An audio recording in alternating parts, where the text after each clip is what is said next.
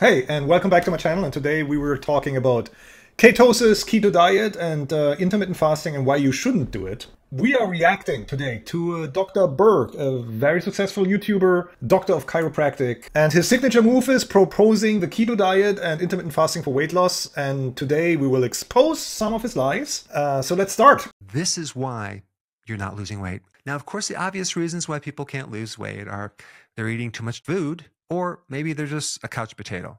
Yeah, full stop. He could have made a 10 second video that would explain everything. You're eating too much and you're eating the wrong foods and you're not staying in the calorie deficit. Your diet might be shit. And that's why you don't lose weight. And that's why most people don't lose weight. That's why I haven't lost weight. That is also why I'm writing this book to teach you how to gradually replace your diet with healthier options and then you keep your weight off for good for the rest of your life. Those are the obvious things. And then you also have people who are on a healthy version of the ketogenic diet to doing intermittent fasting and even they plateau. So here we go. So I made videos before intermittent fasting, so I'm just going to do this very quick. In short, intermittent fasting will work short time or might work short time because you're eating less calories than you than you burn, but it is not sustainable and has been shown without a doubt if you do intermittent fasting for a very long time, especially if your routine includes skipping breakfast, your harm to your health will be significant. But what about the ketogenic diet? For that, we should probably first explore what ketosis actually is. So ketosis usually happens when there's a condition where you have low blood glucose availability, so blood sugar levels are low, and you have a low level of insulin available. So, and that will usually increase the flux of fat, fatty acids from your fat depots, from your visceral fat usually. So those fatty acids are usually oxidized in the liver where they produce a enzyme which is called acetyl-CoA, and then which turns into uh, TCA, and then TCA turns into ATP, which is ATP is the energy currency of, of your cell. So ATP is what you need to create energy. So that is usually how it works. Uh, but if you don't eat a lot of carbohydrates and you, your glucose and glycogen levels de deplete in your in your body, TCA cannot manage all the acetyl-CoA that is built by your fatty acids. So, and we have an oversupply of uh, acetyl-CoA and an oversupply of fatty acids from the fat reserves. At the same time, the reduction of glucose in your blood also causes a shortage of a lot of other things. One of the things is oxaloacetate. So oxaloacetate is a very important metabolic chemistry in your body. It enhances the insulin pathway. It is very important for brain health. It stimulates mitochondria production in brain cells. It reduces inflammation in brain cells. It has a neuroprotective effect on brain cells. And it also helps the acetyl-CoA that has been produced by the breakdown of fatty acids to enter into the citric cycle, which is crucial for them to generate energy. So now, the, all this acetyl-CoA that is produced it has to go somewhere, right? We have like this huge reserve of acetyl-CoA. So that is when your ketosis hap is happening because your acetyl-CoA is diverted into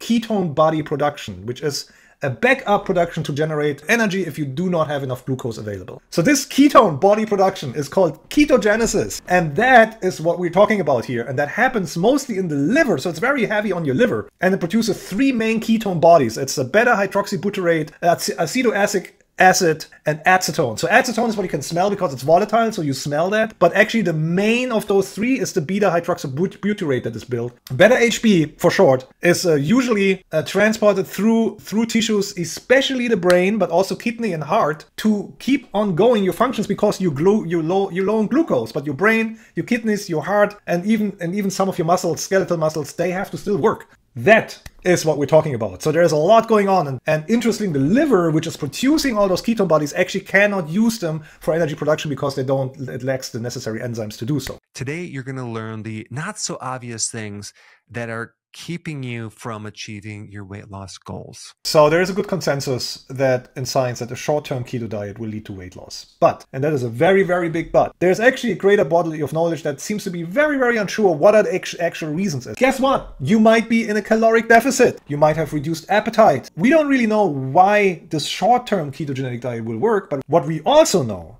is long-term, a ketogenic diet has serious health risk associated with cardiovascular problems and diseases. There's a lot of evidence that uh, a lot of cholesterol will be building up, will be building up if you're a long-term on a ketogenic diet, which means you're gonna have to get off that diet at one point. And what are you gonna do when you get off the diet? You jojo back. And do you think that's good for you? What you need to do is to replace your foods with healthier options that you like. Don't redact, replace. And in my book, I will teach you how to do this. Insulin is at the heart of the problem with slow metabolism. Your body can always lose to that point, but then getting further is a problem. the more weight you lose, the more difficult it becomes. Typically, healthy body fat percentages reach anywhere between 10 and 20% for men and between 18 and 30% for women. And if you're in a healthy range of body fat, you might have reached your natural plateau. Where that is depends on your genetics, your age, your gender, your exercise regime, and so many other things. Weight loss is never gradual. The more fat you lose, the more difficult it becomes. For example, this. This has zero sugars. This has zero sugars. This has zero sugars. This has zero sugars. And so does this too starches. It's basically a string of sugars connected together.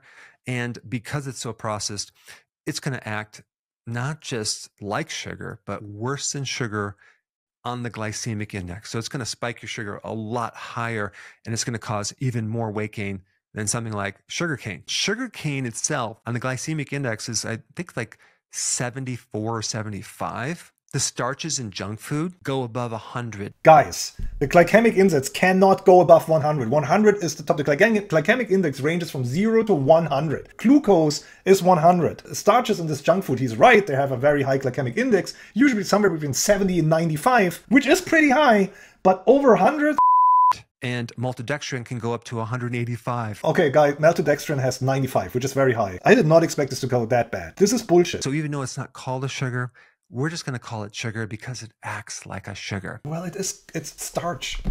So yeah, of course it acts like sugar. It's starch. Even a piece of bread, for example, can bump you out of fat burning for a lot longer than you might think because it takes some time to get into ketosis. It could take 24 to 48 hours.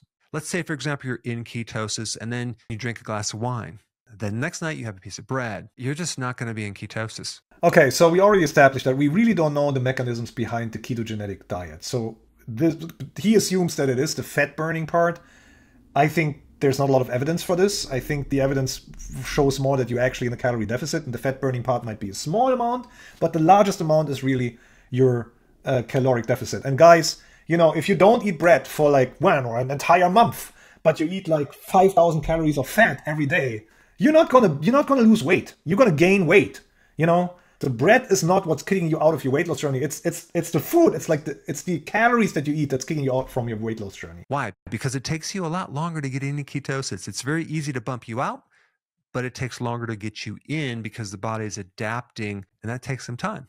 So intermittent fasting and ketogenic diet work short term, no questions asked. I know they work. But the reason I don't recommend those and the reason I write a book about gradually replacing your diet rather than going on to like a very harsh, for your body, very harsh uh, shift like a ketogenic diet or intermittent fasting is because first of all, they all have the potential to for you to gain weight back once you get off those, those like very harsh regimes. But the main reason you were overweight is because you had a shitty diet to begin with. And then the second reason, more important, is that both of those, ketogenic diet and intermittent fasting, have been shown in research that they have that they increase serious risks for serious diseases later on if you do this long term. Most people have too much body fat. They want to reduce their body fat not to like 10% or 15%. They want to reduce it to, a, to an amount that they feel comfortable with and that is healthy for them. And that is what we're proposing in our new book. Subscribe to my channel. I'm providing science-based, non-BS. I've, I lost weight myself. I'm a former athlete. I'm a professor. I have a research PhD degree. I see you next time. I'm out. See you then.